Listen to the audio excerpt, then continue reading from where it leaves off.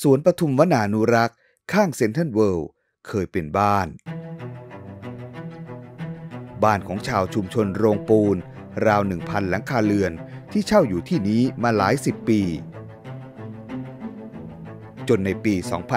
2558 ชาวชุมชนโรงปูนต้องย้ายออกจากพื้นที่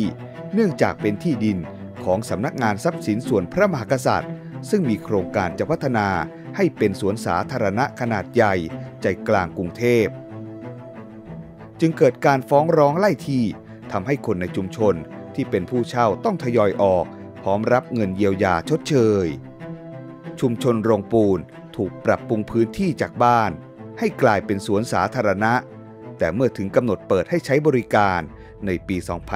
2561 สวนกลับยังเปิดไม่ได้ เนื่องจากมีบ้านสามหลังยังไม่ยอมย้ายออก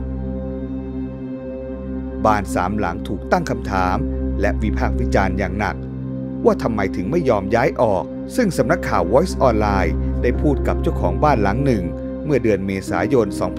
2565 ให้เหตุผลว่าที่ยังไม่ยอมย้ายออกไป เพราะผมไม่ได้ตั้งใจที่จะอยู่ แต่มันไม่มีที่ไปจริง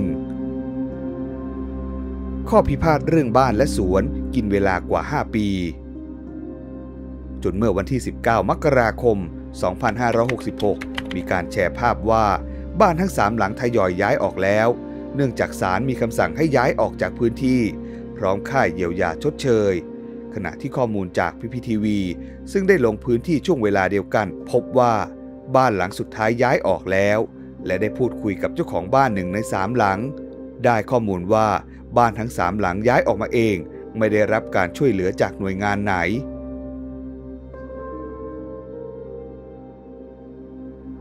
20 พฤษภาคม 2566 สวนสาธารณะได้เปิดให้บริการแล้ว ไม่มีบ้าน มีแต่สวนปฐุมวนานุรักษ์ที่เปิดให้บริการทุกวัน เวลา 10 โมงถึง 6 โมงเย็น